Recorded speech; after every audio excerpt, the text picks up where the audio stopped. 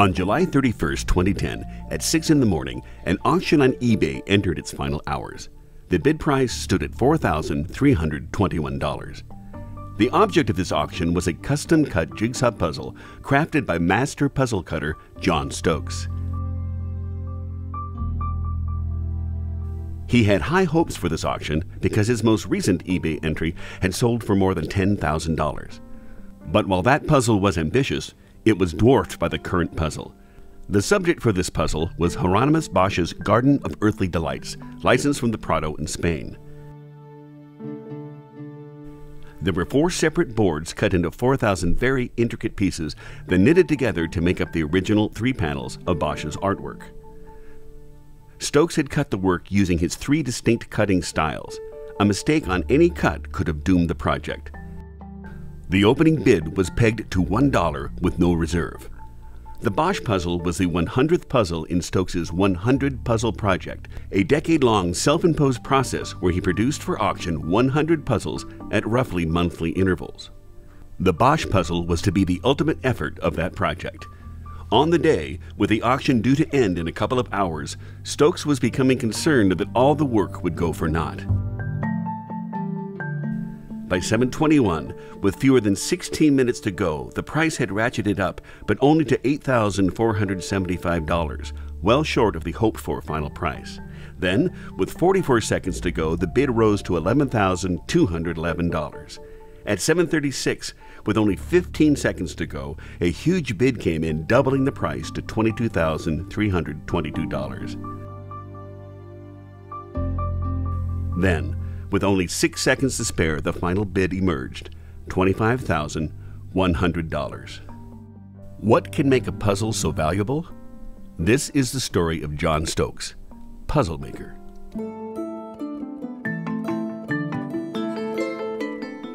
Well, when I was a child, maybe four, five, six years old, I used to love drawing. I did a lot of squirrels and squiggles and I still have some of these images and what's amazing is how much they resemble some of the cutting I do today in my creative style.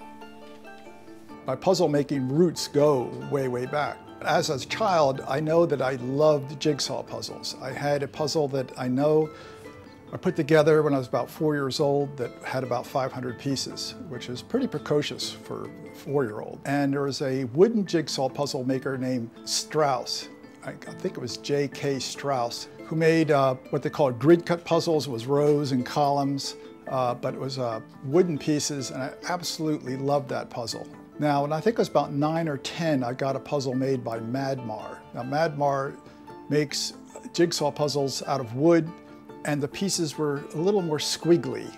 I eventually got into Big Ben puzzles made by Milton Bradley. They had a thousand pieces. They're also in a grid style. I, I, I, still remember 36 pieces by 28. If you multiply that out, it comes out to 1,008. I said, well, it's a thousand piece puzzle. Was actually 1,008. Uh, they just had an intrinsic beauty. I began to think of myself in the mind of a, of a puzzle maker.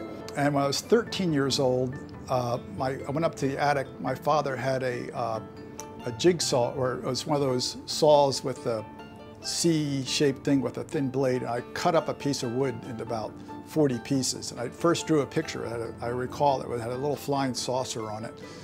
I cut it into 40 pieces, and uh, it's a shame I don't have that puzzle anymore, but uh, I did do that.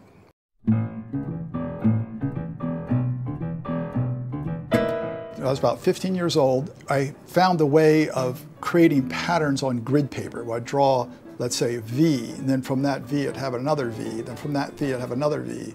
And it would propagate into very interesting patterns. And uh, many years later in college, I began to discover computers. This was in the early 70s, and I took an independent study in, under the art department to program these patterns. And then much later, I developed a program on uh, the Macintosh and formed a company called Pixel Pathways and sold a bunch of these programs black and white in the 89, 90 period. If I look at the, the, amount of money I put into this, the amount of money I got, it was like a total disaster. But, um, but, but I had the program written and I could create my own patterns. I think it, or actually it was in 1999, I was going through a major periodic cleaning process where I winnow out possessions and I had a bunch of puzzles that I decided to get rid of. And I said, well, maybe I can sell them on eBay. And I had, uh, most of them were cardboard puzzles and I have a few uh, wooden jigsaw puzzles. And I was searching and I saw that, oh, there was this guy selling puzzles that he made. And I had one of these sort of, oh my God, ro a road to Damascus event where says, I wanted, I am a puzzle cutter. I just, it went from like, the idea didn't occur to me to like, I am a puzzle cutter. Uh, I, that's what I want to do. And um, I believe that was in very late September or early October 1999. Let's see, it was in November, I was at a uh, art show and met a woman, was talking to her and said, you know, I'm looking for a place to uh, set up a shop.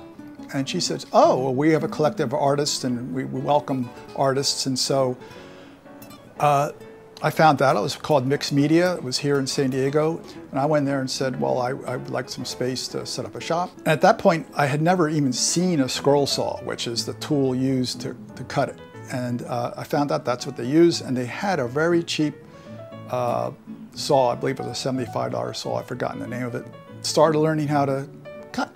Um, I just got a blade and put it in. Didn't realize that you need to change them out after a while. They, they break or, and so with my very, very first puzzle, puzzle number one, which is a piece of plain wood about this by this, which I just spray painted. And then after puzzle number two was, uh, I, I started my own style. Uh, I'm 100% self-taught. Middle of September 1999 that I established the shop. Came up with the name Custom Puzzle Craft, uh, registered that on January 8th, 2000. And I had my website up a single page, uh, I believe it was March 15th, 2000. And um, I made a bunch of puzzles uh, between uh, the end of 2000, I'm sorry, 1999 up till April of 2000. I made 17 puzzles, of which I have about 10 of them. Experimental very, very experimental. It, it's wonderful to see just how bad I was back then. And also, it's really interesting to see how my styles evolved. You can actually look at these puzzles and see, oh, that's how I developed my swirly curly style. That's how I developed my squiggly style.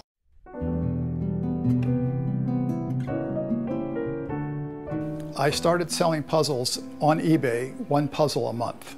And it was after about the fourth or fifth puzzle was sold on eBay I came across some craftsman, I think it was making cufflinks, had something called the 100 Cufflink Project. And I said, that's a cool idea. Well, I'm gonna have a 100 puzzles project. So the prices I got for the puzzles were fairly constant up until uh, the late 80s uh, in the series. And then they really started taking off and I had puzzles that were going over, over for $1,000 and I took more and more time to really make, I decided this this project was going to end in a just phenomenal historic manner. I really wanted huge, magnificent puzzles towards the end that I just put a lot of time and effort into uh, and really bring in high prices.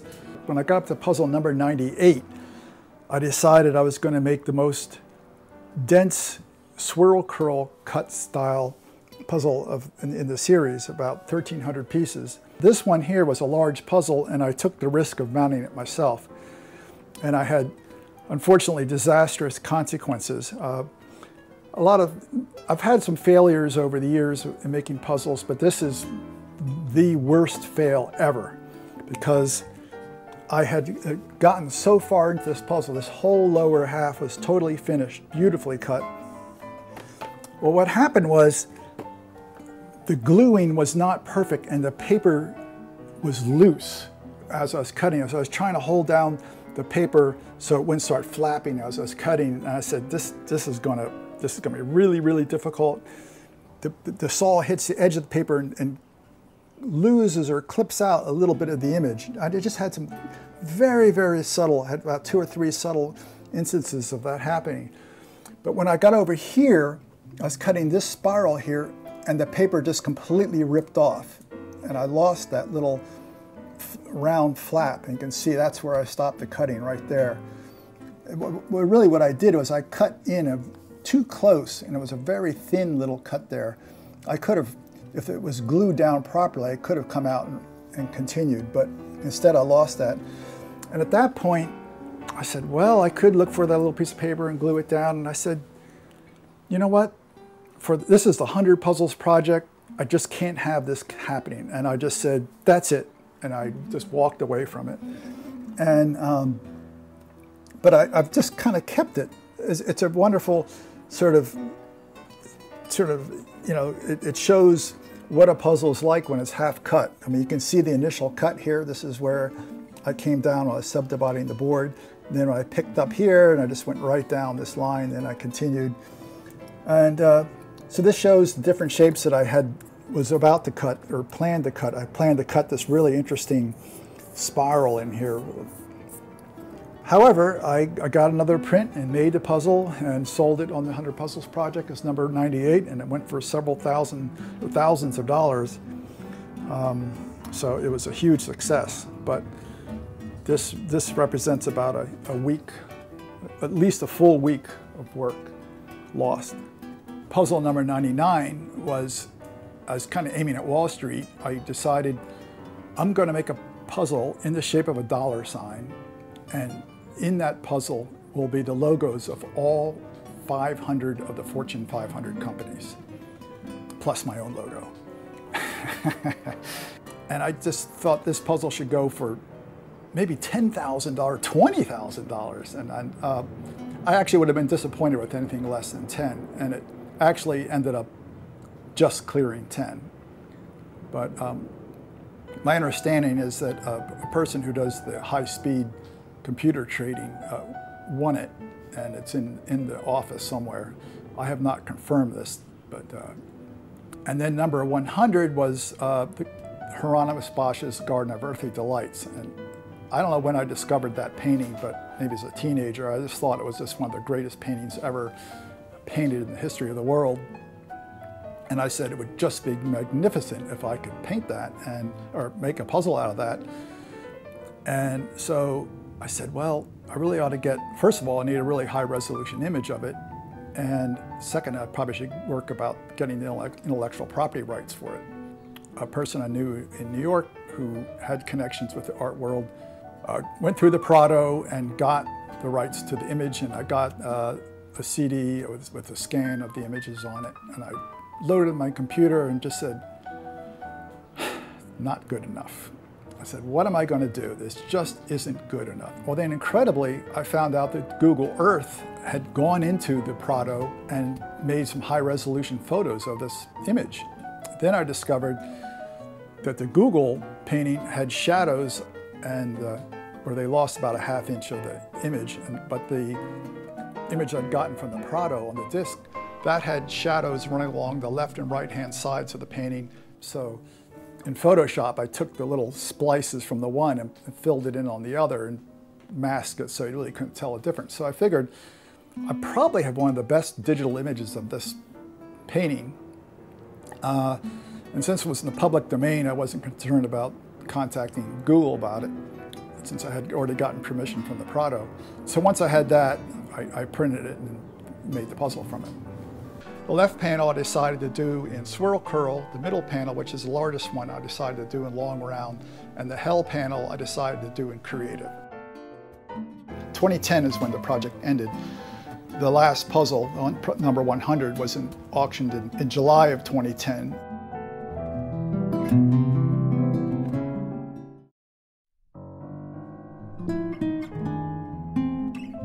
After the 100 Puzzles project was completed, I had about uh, two years worth of commissions to do. And at that point, I had decided I was going to close the shop.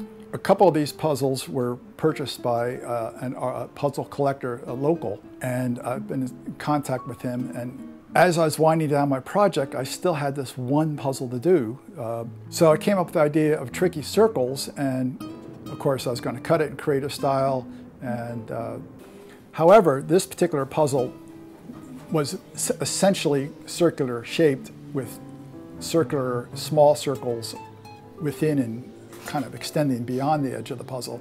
So that I designed in Photoshop. uh, very specifically. I said the puzzle is going to be 25 or 25 and a half inches in diameter.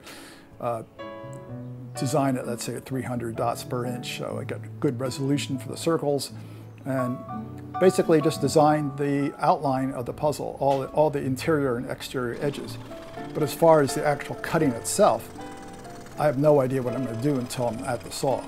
And I'm basically down to my last two boards. It's either this one or the next one. And if I fail both of those, um, I'm in trouble. Okay, took, this is the tension, and I listened to the sound. The, uh, this is even bigger than I thought it was. Oh my God. I have to bring this out a little bit. As soon as I cross the, this pink line here, I'm in for the money. This is a, you know, it's a money shot, so to speak.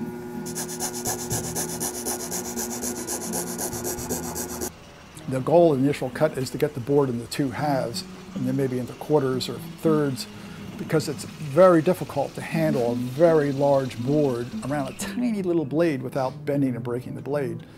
And in this puzzle, it was nice because I had some large dropouts, so I just have to cut to the first dropout and scream over to the next uh, bridge and then to the next dropout. Well, the cut's going very well.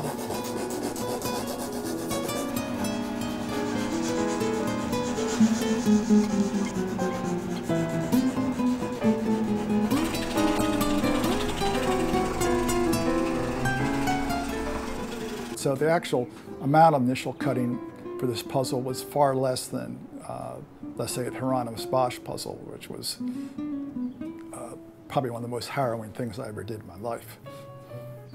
So if the slightest jar should happen, I would lose the whole work. I have to, I have to be on my game, so to speak, all the time. You can't ever let up while cutting. You have to have constant concentration while, while cutting a puzzle. I once had a, a guitarist come in here and he said, oh, these are such nice riffs. You, you know, each little variation would be like a riff.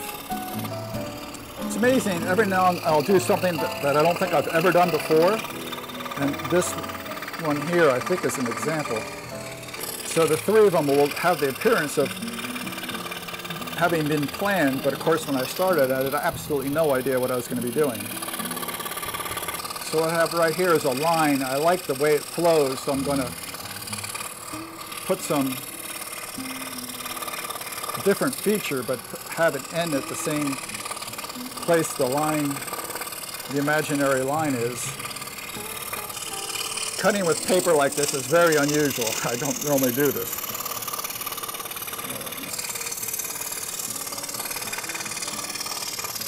Ringo Starr said, act naturally.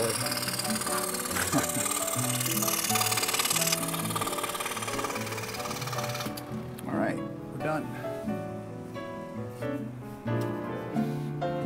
You always can feel, if, if there's slight variations, you'll feel a little slight wobbliness. This was a really good cut. I curled it this way. Usually I'll curl them all in the same direction, but I decided to make a small one and then curl it in the other direction. This is what I, I saw it was cool, this little structure here, and I continue this line down like that. But it really requires just total focus. Did some pretty straightforward, it's not particularly fancy, but um, has to be good enough so it'll blend in with the more intricate style when I get going to it.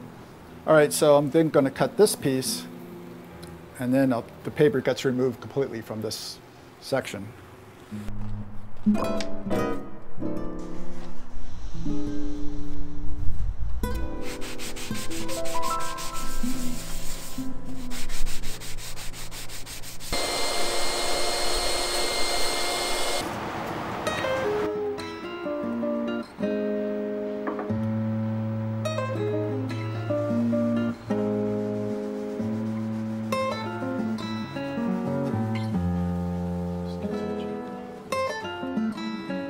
Uh, I think the puzzle sold for three or 4,000. What was amazing was I thought the customer would take a really long time to put it together, but he was a good one and he got it done in about 19 hours.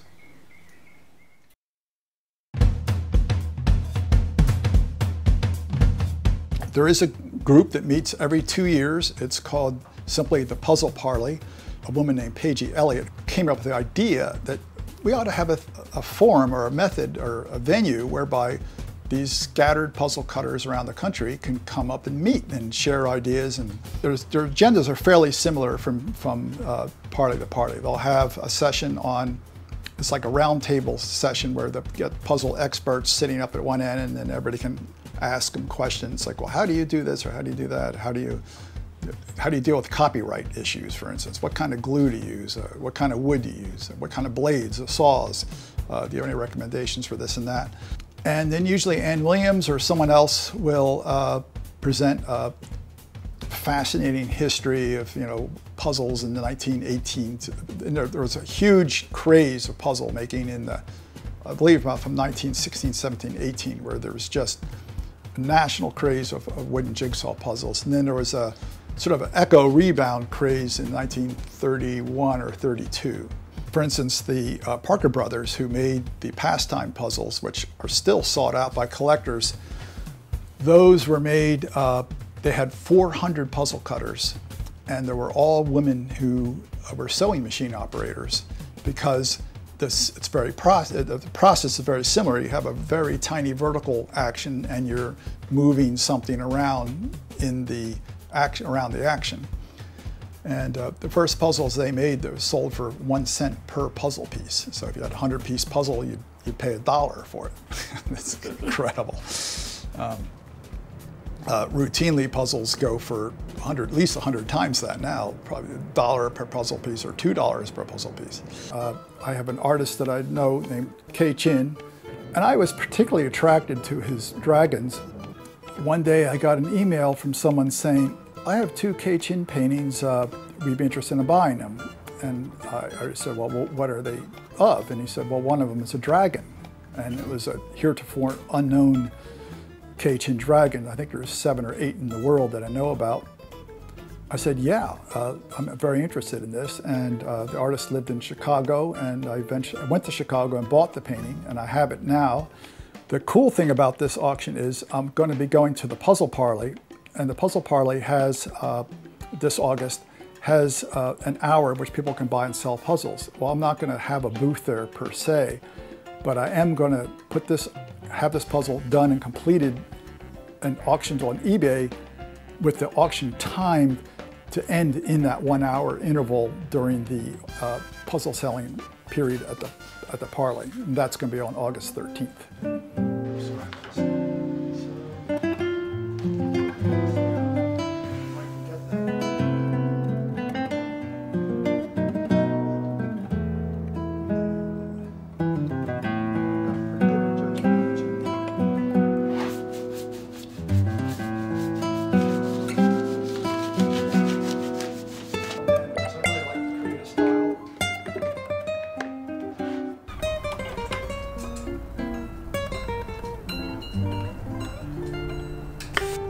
Go. So here we go. So as soon as I cross there, I'm now in production mode. Gotta be a little more careful here.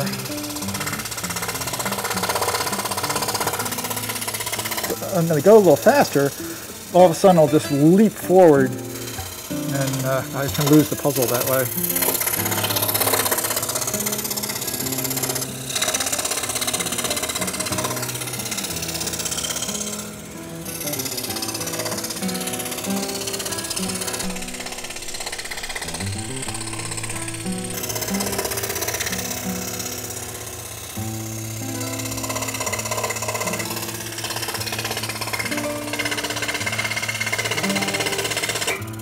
Okay,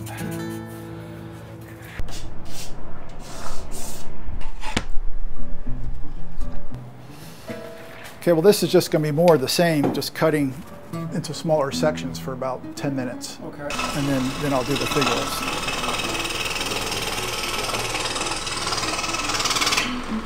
All right, well, I'll do it real fast. No breaks or anything.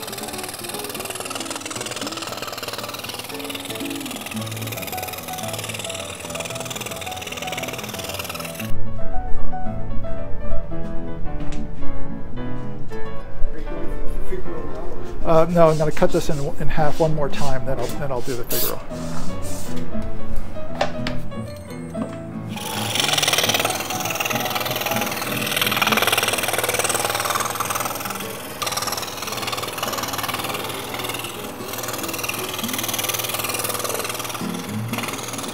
Sometimes when cutting within a crowded image, it's very hard to see the blade. It gets hidden in the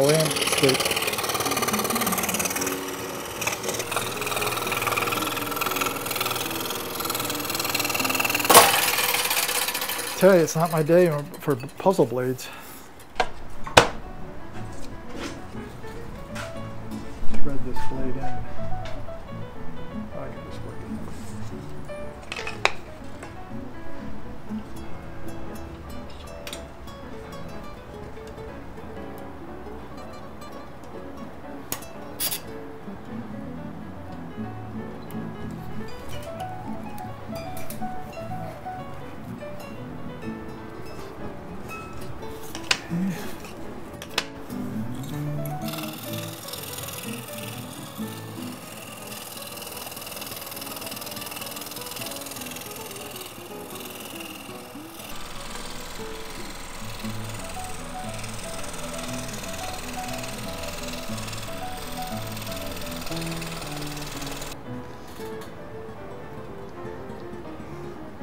Didn't realize I captured a star in the tip of one of them. The final puzzle I did cut, which was the Golden Dragon, was sold at the Puzzle Parley. And that puzzle did really well. It sold uh, at a good price. I was very pleased. It won the Best in Show. In August 2016, John Stokes closed the shop at Mixed Media, ending his 15 year journey as a professional puzzle cutter. During that time, his skills grew from simple monochromatic early puzzles through diabolical pictureless puzzles of over 1,000 pieces to his world class 4,000 piece masterpieces. At some point, he plans to set up his shop on a smaller scale.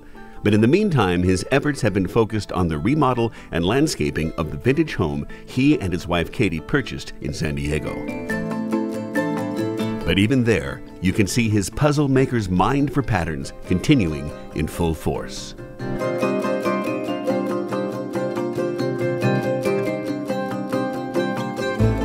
And I had one of these, oh my God, ro a road to Damascus event. I am a puzzle cutter. Uh, I, that's what I want to do.